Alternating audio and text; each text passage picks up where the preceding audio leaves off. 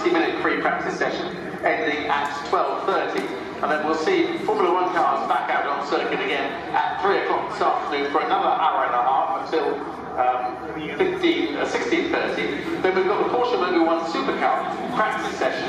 Uh, that is from 1700 to 1745.